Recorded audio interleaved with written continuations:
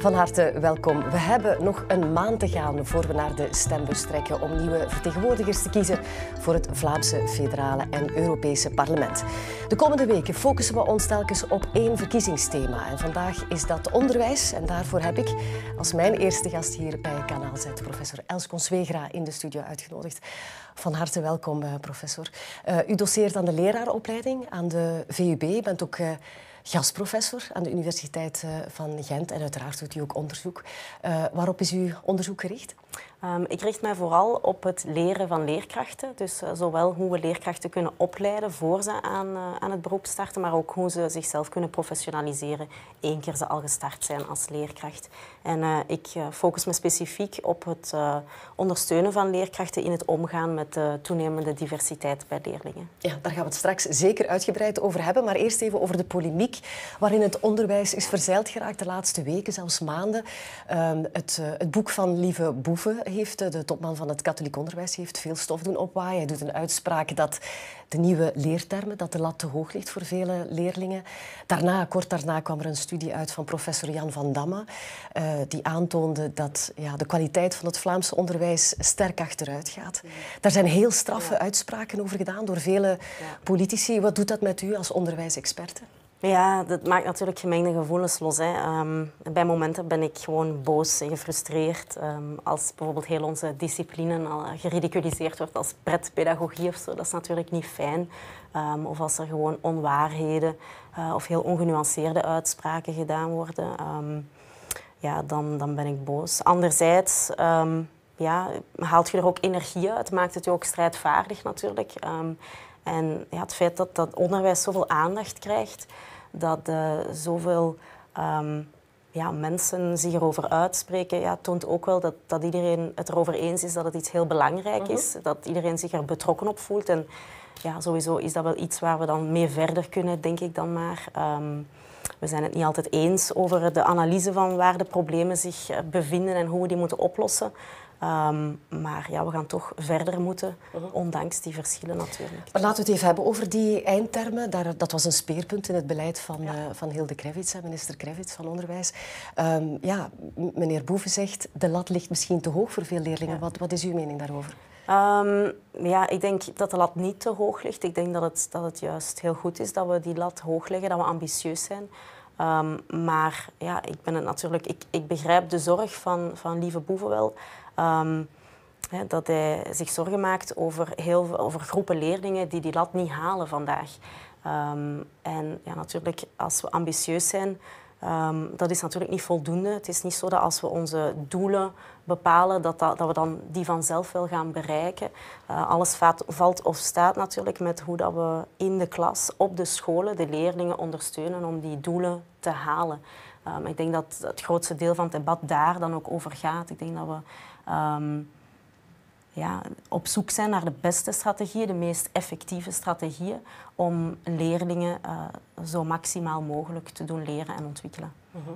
En dan was er die studie van, uh, van Jan van Damme. Hè. De kwaliteit van het onderwijs gaat achteruit. Dat horen we al wel een hele tijd. Uh, maar blijft zich door, doorzetten. Um, is dat te kenteren? Um, in de eerste plaats wil ik die uitspraak toch een beetje nuanceren. Hè. Ik vind het redelijk kort door de bocht om op basis van alleen maar um, die vaststelling dat we op die um, ja, gestandaardiseerde internationale toetsen zien dat onze resultaten achteruit gaan. Om op basis daarvan dan te gaan concluderen dat de kwaliteit van ons onderwijs achteruit gaat. Um, ja, ik denk we kunnen zeggen dat die elementen achteruit gaan, maar uiteindelijk die, die kennis um, in leesvaardigheid, wiskundige geletterdheid, wetenschappelijke geletterdheid, dat is natuurlijk maar één indicator van de kwaliteit van ons onderwijs. En er zijn nog zoveel andere zaken die we beogen te bereiken met onderwijs, die we daarmee niet meten. En ja. dan, uh, maar dat was ook ja. een van de, de, de kritieken die we te horen kregen van, van een aantal politici. Die zeiden van ja, de klemtoon ligt veel te weinig op kennisoverdracht uh, en meer op vaardigheden. We moeten, de wijzer is doorgeslagen, we moeten terug naar die kennisoverdracht gaan. Is dat nog van deze tijd? Um, wel, ik denk dat, um, dat beide natuurlijk um, aandacht moeten krijgen in onderwijs. Ik denk dat iedereen het daarover eens is. Maar de discussie gaat dan over het gewicht van elk van die twee. Um, en ja, ik denk dat het zeker een, een uh, waardevol uh, debat kan zijn. Maar ik denk als je naar de praktijk vandaag op heel wat scholen gaat kijken, dat je echt wel niet kan stellen dat er te weinig aandacht zou zijn voor, uh, voor kennis. Integendeel. Um, ik denk als je bijvoorbeeld kijkt naar de uh, PIRLS-studies, dat, dat gaat over de leesvaardigheid bij leerlingen in het lager onderwijs, waar dat we dan dus inderdaad vaststellen dat de leesvaardigheid uh, doorheen de jaren achteruit is gegaan. Uh, maar die PIRLS-studie heeft ook uh, gekeken naar de didactische uh, praktijken van leerkrachten. En daar stellen we net vast dat er in Vlaanderen nog heel erg en veel meer dan in andere regio's gefocust wordt op het, ja, op het doseren, het ex cathedra werken. En net te weinig eigenlijk op, um, ja, op die vaardigheden om, om, um, ja, om ja, echt ja, betekenis te kunnen halen uit complexe teksten bijvoorbeeld. Hè. Dus, um... Er zijn veel internationale studies die gedaan worden om de kwaliteit van het onderwijs uh, te meten. Niet alleen van België, maar van heel veel landen in de wereld. Zo ook het PISA-onderzoek, dat ja. misschien wel het meest uh, bekende is. Ja. Laten we even kijken naar uh, deze grafiek, waarin dat de, kloof, dat de kloof aanduidt tussen mm -hmm. jongeren met een migratieachtergrond en de prestaties van jongeren van autochtone, of autochtone ja. jongeren. Um, ja, we zien hier dat Vlaanderen helemaal achteraan ja. bengelt. Uh, zelfs nog ja, het slechter doet dan Duitsland en Oostenrijk en Zweden, landen die het blijkbaar ook niet zo goed doen. Uh, hier zien we ook dat landen als uh, Australië, Canada, dat zijn landen die het dan weer heel goed doen. Waar dat het verschil tussen jongeren met migratieachtergrond en autochtonen kleiner is. Van waar dat verschil? Ja, ik denk dat, je uit deze grafiek duidelijk kan vaststellen dat we hier in, in Vlaanderen geen gepaste antwoord hebben gevonden op die toenemende diversiteit in onze leerlingenpopulatie. Um, het, is zelfs, uh, het is zelfs zo dat... Um, dat je die grote kloof tussen leerlingen met en zonder een migratieachtergrond in Vlaanderen, dat je die ook niet kan verklaren door te stellen van ja, die jongeren die uh, een migratieachtergrond hebben in Vlaanderen, ja, die doen het vaak ook sociaal-economisch uh, slechter. Dus dat, dat het daaraan zou liggen. Want zelfs als je daarvoor controleert, zijn we nog altijd het slechtste van de klas. Um, dus het heeft ook echt wel... Um, ja, er is echt wel een probleem op dat vlak. Maar ik neem aan dat er onderzoek naar gedaan is. Waar ligt de grond van, van dat probleem? Waarom, is dat, waarom doen wij het zoveel slechter in Vlaanderen dan in andere landen, dan Australië bijvoorbeeld? Ja, dat is natuurlijk moeilijk... Um, moeilijk uh, te vergelijken tussen regio's, omdat er heel veel zaken zijn die verschillen. Uh, maar een van de zaken waar het zeker wel mee te maken heeft, uh, is um, ja, het feit dat dat onze leerkrachten dat we hen niet voldoende hebben kunnen begeleiden, ondersteunen in de ontwikkeling van, van ja, nieuwe didactieken. Om bijvoorbeeld binnen hun klaspraktijk uh, meer te gaan differentiëren um, en um, tegemoet te komen aan die verschillende leernoden van die verschillende uh, leerlingen in de klas. Hè. Sommige leerlingen staan voor een bepaald... Uh, voor een bepaalde vaardigheid al een heel stuk verder dan anderen. Um, dat wil zeggen dat je in de klas niet gewoon vooraan kan staan en, en ja, kan doseren, één en hetzelfde. Dat is nu net uw expertise. Hoe, hoe, bereid je dan uh, ja, jongeren die nu in het onderwijs uh, stappen of ja. willen stappen, hoe bereid je hen voor om in een, uh, in een grootstedelijke context te werken? Want ja, ja dat, dat is... is... wel het geval voor heel veel leerkrachten in de praktijk. inderdaad. En dat zal ook in de toekomst alleen maar belangrijker worden. Um, iets wat we weten, iets wat we zien, is dat het in elk geval heel belangrijk is om, om, de, ja, om studenten zo snel mogelijk met, um, ja, met die diverse klaspraktijken in contact te laten komen.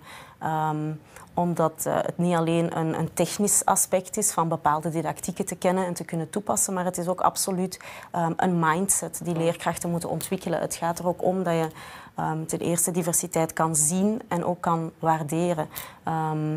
en het is daarom ook uh, ja, belangrijk dat je, dat je die, die stages bijvoorbeeld, waarbij je kennis maakt met grootstedelijke of diverse contexten, dat je dat niet houdt voor het einde van een opleiding bijvoorbeeld, uh, maar dat je, ja, dat je leerlingen daar al, studenten daar al van in, van in de start van hun opleiding mee in contact brengt. Um, ja, het gaat ook niet alleen om bepaalde werkvormen te kunnen inzetten in de klas op een flexibele manier. Maar het gaat er ook om um, ja, dat je stilstaat bij de materialen zelf. Hè. Ehm, als je kijkt naar, naar handboeken, daar staan vaak nog heel wat stereotypen in bijvoorbeeld. Ehm, en ja, als leerkracht wil je daar dan misschien wel een opmerking ook bij maken hè, ehm, naar de leerlingen toe. of als we kijken naar het curriculum zelf en de inhouden die we aanbieden. Heel veel uh, leerlingen met een migratieachtergrond voelen daar weinig aansluiting bij als alleen maar bijvoorbeeld het Europese perspectief op historische conflicten bijvoorbeeld wordt toegelicht als je daar een meer multiperspectivistische benadering zou hanteren, bijvoorbeeld als het gaat over de wereldoorlogen, kan je daar ook in benadrukken um, ja, welke rol er elders in de wereld is gespeeld in die conflicten. Um, op die manier kan je veel meer aansluiting vinden bij, bij diverse uh, culturele achtergronden. Dus het zit um, ja, in heel veel zaken eigenlijk dat je kan tegemoetkomen en een diversiteitssensitieve aanpak kan gaan uh, ontwikkelen. Afgelopen week in het nieuws kwam er ook dat er een uh, tekort van 5000 à 7000 leerkrachten per jaar zou zijn. En de komende jaren. Hoe komt het dat, het, uh, dat de job van leerkracht zo onaantrekkelijk is? Ja, ik denk dat het uh, met heel veel zaken te maken heeft. Um, ja, onder andere um, ja, de status die het beroep heeft. Um, het feit dat ook de, in de eerste jaren dat je met heel wat werkonzekerheid te maken krijgt. Um, als je kijkt naar beginnende leerkrachten, moeten ze vaak jobs op verschillende scholen combineren. Um, duurt het heel lang uh, voor ze um, ja, een, vaste, een vaste klasgroep uh, of een, vaste, ja, een vast vak en, en, jaar hebben waarmee ze kunnen werken. en dus elk jaar, elke zomer moeten ze opnieuw nieuwe cursussen uh, zitten voorbereiden. en voor heel veel verschillende klassen op verschillende scholen. Dat is natuurlijk een heel ja, vermoeiende start van een carrière. Mhm. Uh, er is ook weinig ondersteuning uh, voor de leerkrachten um, als zij beginnen ja, aan hun loopbaan. Krevits uh, zei ook wel afgelopen week van we hebben al inspanningen gedaan om de verloning te verbeteren, um, om, om, taalcoaches um, in, in, scholen te introduceren, om jongeren met een, met een andere thuistaal toch ook wel wat extra te ondersteunen. ja, dat zijn toch al ja, middelen om, om de leerkrachten het wat lichter te maken. Ja, maar ik denk dat het uh, nog niet ver genoeg gaat. Hè. Een, een, echte hervorming van die loopbaan van de leerkracht um, is uitgebleven. Die is er niet gekomen, terwijl ik denk dat die echt broodnodig is. Um... Kan je een profiel geven van de mensen, die, de jongeren die kiezen voor een opleiding uh, als leraar? Um, ja, dus een eerste iets wat natuurlijk al meteen opvalt, is dat, um, dat het in hoofdzaak vrouwen zijn die kiezen voor het lerarenberoep. Um, in het kleuteronderwijs bijna uitsluitend vrouwen, ja, meer dan 95 procent. in het lager onderwijs. Is dat een probleem? Um, ja en nee. Enerzijds weten we dat vrouwelijke leerkrachten niet op een andere manier lesgeven. Uh, we weten ook uit uitgebreid onderzoek dat uh, um, jongens of meisjes geen uh, hogere prestaties gaan halen um, op kennistoetsen als ze meer mannelijke of meer vrouwelijke leerkrachten hebben. Dus op die vlakken zou ik zeggen nee, dat is zeker geen probleem, die vrouwelijke leerkrachten. Anderzijds weten we wel um, ja, dat voor, uh, voor de ontwikkeling van, van hun gedrag, van hun identiteit, uh, dat het daarvoor wel belangrijk kan zijn om een diverser lerarenkorps te hebben. Um, jongeren, um, jongens geven zelf aan in, uh, in onderzoeken dat ze ja, wel graag wat meer mannelijke leerkrachten zouden hebben als rolpatronen bij hen op de school. En we weten ook dat in scholen waar meer mannelijke leerkrachten zijn, waar er een evenwichtigere verhouding is in het lerarenkorps, ja, dat de kinderen in die scholen ook een meer ja, genderstereotyp doorbrekend uh, uh, beeld hebben van rollen die gepast zijn voor mannen en vrouwen. Um, dus, dus, vooral veel vrouwen en, en verder? Ja, um, ja, verder zien we ook dat, uh, um, ja, dat ongeveer de helft van de leerkrachten die instroomt in de opleiding leraar lager onderwijs, kleuteronderwijs, dat zij een achtergrond hebben in het technisch en beroepsonderwijs. Um, ik denk dat dat op zich um, geen probleem hoeft te zijn als er natuurlijk voldoende ruimte is in de opleiding om um, ja, de achterstanden die die studentengroepen eventueel zouden hebben te remediëren. Want het is wel zo dat de aansluiting met hoger onderwijs vanuit het BSO of TSO natuurlijk minder um, evident kan zijn dan uh, voor leerlingen die uit het ASO instromen. De ASO is echt gericht op doorstroom naar dat hoger onderwijs natuurlijk. Maar nu is het een bacheloropleiding? Uh, ja. Wel, het is een bacheloropleiding voor uh, de leerkrachten die lesgeven in het kleuter- en het lager onderwijs en het lager secundair onderwijs. En ehm, voor de leerkrachten die lesgeven in de derde graad van het secundair onderwijs zijn het eigenlijk de studenten, um, zijn het masterstudenten eigenlijk. Is het een masteropleiding? Ja. Uh, u gaf daarnet al aan dat er heel wat, of meer en meer um, jongeren vanuit het uh, TSO, technisch onderwijs, uh, naar, of kiezen voor een, een, een beroep als, als, leraar. Um, krijgen zij extra ondersteuning? Een extra jaar, extra stages? Um, Ja, momenteel Want daar is, is sprake uh, van, maar wordt dat al geïmplementeerd? Ja, het is een beetje afhankelijk van instelling tot instelling wat er uh, wordt aangeboden aan studenten om hun uh, achterstanden te remediëren. Maar het is zeker niet zo dat dat iets is wat Vlaanderen breed structureel geïmplementeerd is. Um, dus ja, ik denk dat, dat in de huidige praktijk dat het eigenlijk zo is dat heel veel uh, studenten er dan gewoon wat langer over doen en dus bepaalde opleidingsonderdelen opnieuw hernemen als ze in eerste instantie ervoor uh, niet geslaagd zijn. En dat ze op die manier eigenlijk um, ja, studievertraging oplopen, um, maar dan op het einde van de rit misschien wel uh, hun achterstanden kunnen bijwerken en zo toch kunnen afstuderen als leerkracht. Uh, andere studenten die merken natuurlijk dat het uh, ja, misschien niet hun ding is of, um, ja, of dat, het, uh, ja, dat het toch te hoog gegrepen is misschien en zij kiezen ervoor om, andere, um, om een andere weg in te slaan. Er werd ook een campagne gelanceerd, wordt een echte influencer. Ja. Denkt u dat dat zijn vruchten zal afwerpen? dat, zal, dat zal moeten blijken natuurlijk. Um, Ja, maar ik denk dat het wel heel fijn is in elk geval dat het lerarenberoep positief in, het beeld, in beeld wordt gebracht. Um, ik, denk, um, ik heb ook uh, iets zien passeren op sociale media dat je een foto kan posten uh, van de leerkracht die voor jou veel betekend heeft met een aantal positieve en fijne woorden. Um, ik denk dat dat heel leuk is in tijden waarin er toch heel veel negatieve berichtgeving uh, is over onderwijs. ik denk ja, dat het wel goed is om toch ook um, ja, de positieve aspecten en het aantrekkelijke van, van het leraarschap in de verf te zetten. Dus ik, heb, ik hoop uh, in elk geval dat de campagne um, een succes is. Ja, het is niet alleen gericht op, om, om, het, om nieuwe mensen aan te trekken, maar ook uh, ja. de zijstroom, de zogezegde zijstroom. Wat is dat precies? Ja, dus die zijstroom, zijstroom dat, is, uh, dat zijn eigenlijk mensen die um, ja, al een tijd geleden afgestudeerd zijn. misschien ook al ja, professionele ervaring hebben opgedaan in bedrijven of in, in, andere, um, in andere sectoren van de werkstelling. En die ervoor kiezen om zich te heroriënteren en um, ja, leraar te worden. Um, en die maken dus eigenlijk een switch van, van, ja, van discipline, van beroep. Ja. Zullen we het even hebben over de uh, partijprogramma's? Uh, ja. Want er zijn verschillende politieke partijen die de voorbije uh, ja, weken en vooral eigenlijk de voorbije dagen hun, ja. hun, hun, plan hebben voorgelegd om het, om het Vlaamse onderwijs weer top te maken. afgelopen maandag in Bokrijk heeft Tom van Grieken gezegd het, het kost maar vijf minuten politieke moed om de nodige veranderingen door te voeren. Wat vindt u daarvan? Ja, was het maar zo simpel, denk ik dan. Um, maar uh, nee, ik denk dat, dat uh, ja, beslissingen nemen die op, op zo'n grote uh, populatie van leerlingen en leerkrachten impact hebben, om dat op slechts vijf minuten te doen, um, dat dat niet moedig is, maar naïef eigenlijk. Um, ja, complexe uitdagingen vragen meestal complexe oplossingen. en dat is misschien minder sexy of zo om een complexe, eh, een complexe oplossing uit te leggen. Maar het is denk ik wel het enige wat, wat echt zal werken. Um, mm -hmm. Dus ja, ik, denk, ik weet niet uh, of we met dat soort uitspraken, ja, wat dat we daaruit kunnen winnen.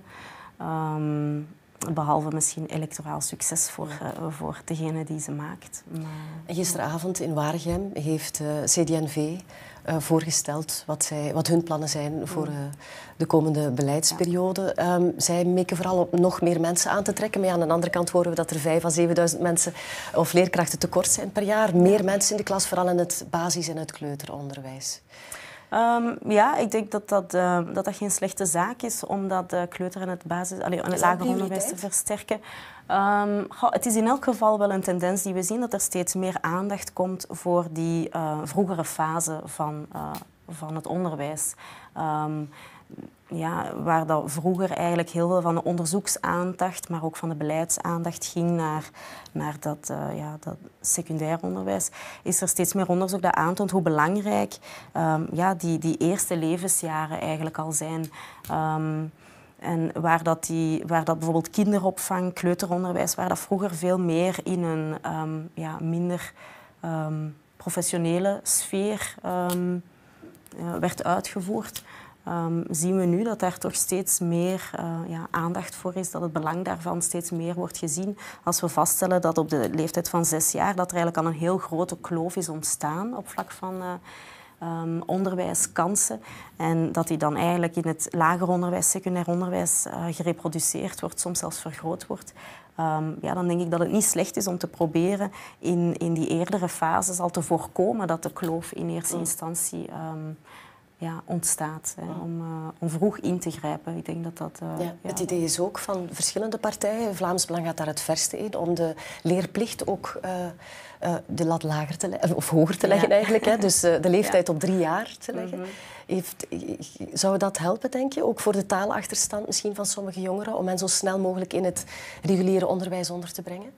Ik denk dat natuurlijk blootstelling aan een taal is, is belangrijk om de taal te kunnen verwerven. Um, ik denk, we zitten natuurlijk al aan een heel hoge participatiegraad, maar bepaalde doelgroepen missen we in het kleuteronderwijs. Dus um, ja, het zoeken naar manieren om daar de participatie te verhogen is, is zeker een, een interessante piste, denk ik. Um, ja, verder zien we rond die taalontwikkeling ook heel veel partijen die pleiten voor een taalbad. Hè. En ik denk... Um, taalbad, taalcoach. Ja, er is wel veel aandacht. Er is heel veel eh, aandacht voor. Ik denk dat dat uh, enerzijds uh, ja, wel terecht is. Anderzijds laten we daar ook nog heel veel kansen liggen. Um, bijvoorbeeld als het gaat over zo'n taalbad, ja, dan vergroten we de instructietijd voor Nederlands voor bepaalde groepen. Um, maar we laten eigenlijk heel veel kansen om de taalvaardigheid um, om aan de taalvaardigheid te werken in het, in het reguliere uh, programma laten we eigenlijk liggen. Als we daar um, ja, uh, bijvoorbeeld um, met betrekking tot het uh, meertalig onderwijs, immersieonderwijs, klilonderwijs. Um, nu is dat mogelijk... Het, het, het, volgen van bepaalde ja. vakken in een andere Ja, taal. dat is ja. eigenlijk het volgen van niet-taalvakken bijvoorbeeld. Ja. ja. dat kan geschiedenis, wiskunde zijn om het even. Um, en maar het volgen van dat soort vakken in een vreemde taal. Um, dan denk ik dat dat ook uh, ja, strategieën kunnen zijn om aan, de, ja, die meertaligheid, taalvaardigheden te werken. Um, maar uh, ja, ook het uh, ondersteunen van scholen die natuurlijk een leerlingenpopulatie hebben, die um, het thuis niet in het Nederlands spreken. Ik denk ook dat het belangrijk is om die scholen ja, toch van nog extra middelen te voorzien, opdat daar ja, echt uh, met alle middelen die er zijn kan gewerkt worden aan, aan, het, uh, aan die taalvaardigheid. Um, ik zag bijvoorbeeld in het, in het programma van uh, CD&V um, zag ik een voorstel om um, ja, in lijn met uh, Teach First, um, Teach for Belgium, dat soort uh, programma's. Dat is eigenlijk mensen die in, de, in bedrijven werken om hen uh, aan te trekken om te starten in grootstedelijke contexten als leerkracht. maar daarmee plaatsen we eigenlijk de... Tijdelijk of als, als echte job, niet als coach? Als, als echte job. maar daarmee plaatsen we natuurlijk de minst ervaren leerkrachten... Ja, ja ja, voor de meest kwetsbare groepen. En uh, we zien dat in, in uh, landen als de Verenigde Staten en het Verenigd Koninkrijk, waar dat soort projecten al bestaan, dat daar nu stemmen opgaan om dat eigenlijk te verbieden. Hè, omdat dat eigenlijk ja, een beetje onethisch is zelfs. Hè. We weten dat uh, um, ja, om aan die heel diverse groepen les te geven, dat je daar echt ervaren leerkrachten voor nodig hebt. Um, ja, en dan net gaan zeggen van nee, in die contexten gaan we nu de minst uh, ervaren leerkrachten gaan plaatsen. En dat gaan we structureel ondersteunen. Dat is, uh... Een vraag die gesteld werd in uh, de stemtest van, van de Standaard en in samenwerking met de VRT. mogen kinderen hun thuistaal spreken op de speelplaats? wat is uw mening daarover?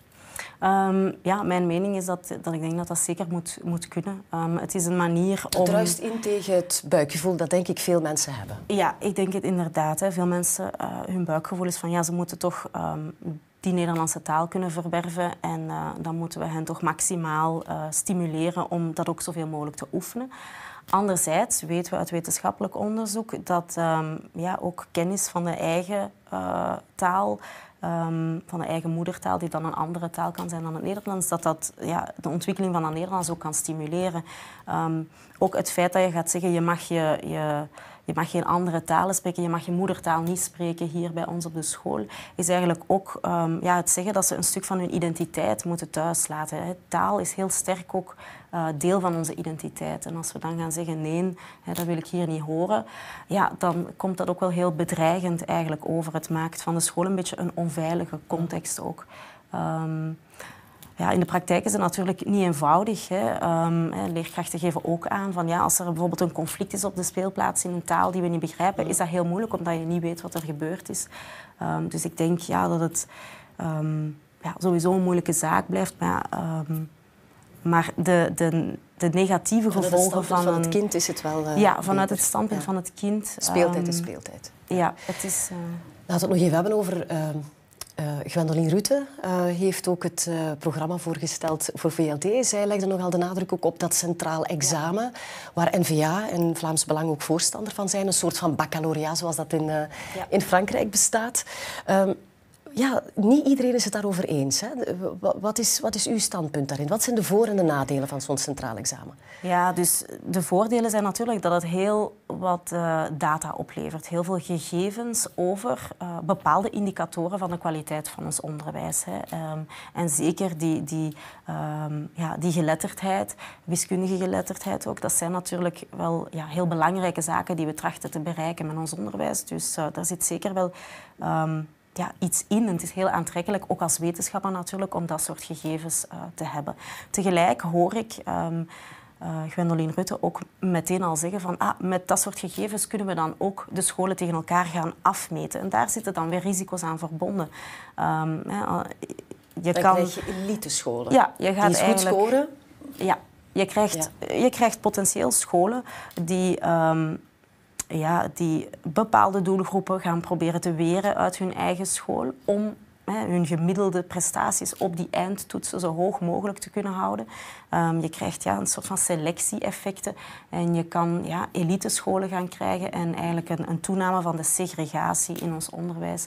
En um, ja, bepaalde scholen waar um, alleen maar kansrijke leerlingen zitten, andere scholen waar dan... Uh, ja, kinderen uit kansarme omgevingen eigenlijk erg geconcentreerd zijn. En um, ja, we weten uit wetenschappelijk onderzoek dat dat eigenlijk uh, ja, geen goede zaak zou zijn. Um, het, uh, het segregeren van de groepen heeft eigenlijk alleen maar um, ja, een, een klein positief effect. En zelfs dat is betwistbaar voor de de allerbest presterende leerlingen, maar voor de overgrote meerderheid heeft het eigenlijk alleen maar negatieve uh, gevolgen. Kan het ook een stimulans zijn voor leerlingen om echt naar dat eindexamen toe te werken? Um, dat kan, hè, want uh, er zijn natuurlijk verschillende zaken die uh, leerlingen bewegen tot uh, het leveren van inspanningen voor school. En um, externe motivatoren, zoals een toets of, um, of een beloning of zo, Um, die kunnen daar zeker toe bijdragen. Um, maar opnieuw, we weten uit onderzoek dat, uh, dat daar ook risico's zijn aan verbonden. Want dat soort toetsen, high-stakes uh, testen, die kunnen ook voor heel wat gevoelens van faalangst, heel wat gevoelens van onzekerheid, heel wat stress zorgen. En die negatieve gevoelens kunnen het leren dan ook weer gaan verhinderen en belemmeren. Dus... Um, ja, het is, um, het is zeker niet dat het een, een uh, wonderoplossing is en dat, dat het invoeren van dat, van dat soort toets automatisch uh, zal leiden tot enorm gemotiveerde leerlingen die, uh, die allemaal toppresteerders willen worden. Of zo. Um, nee, integendeel, het kan zelfs bepaalde jongeren met heel wat potentieel afschrikken. Um, ja, omdat ze ja, schrik hebben om het op die test niet ja. goed te doen. Ja om af te ronden. Um, over een maand uh, zijn, het, uh, zijn het verkiezingen. Wat zou u graag in het ja, volgende regeerperiode gerealiseerd zien? Wat, wat vindt u een belangrijke prioriteit? Um, ik denk ja, misschien toch wel terugkeren naar die leraar. En dat is natuurlijk ook als lerarenopleider mijn, mijn bias dan. Um, ja, als, we, als we kijken internationaal vergelijkend, um, de leraren in Vlaanderen um, doen eigenlijk het minst um, aan professionalisering. Dus één keer zij starten als leraar, um, ja, scholen ze zich eigenlijk heel beperkt bij. ze, zijn ook weinig, ze werken weinig samen met hun collega's. Um, ze gaan bijvoorbeeld relatief weinig kijken in de lessen bij, bij anderen. Um, of ze ontwikkelen hun materialen voor hun lessen niet samen. Um, en, en wat zou een beleidsmaatregel dan kunnen zijn? Wel, ik denk ja, dat we daar toch wel iets dwingender misschien in moeten zijn. Hè? Als we van dat beroep van leraar, als we willen erkennen dat dat een professie is, um, dan mogen we daar ook uh, verwachtingen aan stellen. En ik denk dat we daar ja, zeker kunnen verwachten dat er een minimum aan bijscholing en professionalisering wordt gedaan door leerkrachten. Het is ook wel zo dat we daar dan ook de middelen en de ruimte voor moeten creëren, wat vandaag zeker niet altijd het geval is. Um, dus ik denk dat we daar leerkrachten moeten um, ja, maximaal ondersteunen om um, zelf te kunnen leren. De school moet uh, zelf ook een leeromgeving zijn voor de leerkrachten en niet alleen voor de leerlingen. Oké, dan wil ik u heel erg bedanken, professor Conswegra, voor dit fijne gesprek en uw komst uh, naar de studio. En volgende week, dames en heren, kaart collega Anne Hofman een ander belangrijk verkiezingsthema aan en dat is migratie. Bedankt voor het kijken en nog een heel fijn weekend gewenst.